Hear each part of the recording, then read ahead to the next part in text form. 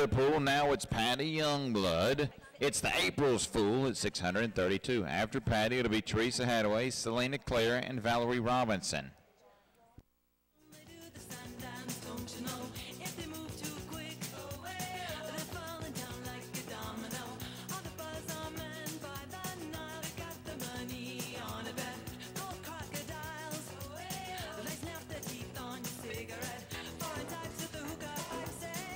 Sixteen five ninety nine one six five nine nine for